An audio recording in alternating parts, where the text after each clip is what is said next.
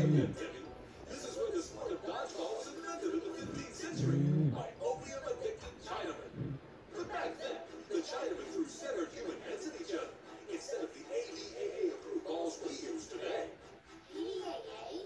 That's the American Dodgeball Association.